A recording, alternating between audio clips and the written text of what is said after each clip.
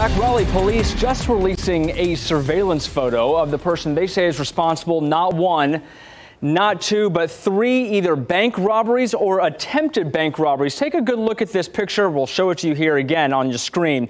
Investigators say one robbery at a Wells Fargo happened today. That was off of Glenwood Avenue an attempted robbery yesterday at a Wells Fargo off of New Bern Avenue, and then a bank robbery at the other Wells Fargo off of Hillsborough Street. That's right across from NC State. That happened a few days ago. So this is the person they're looking for, and they're trying to track him down before this happens again.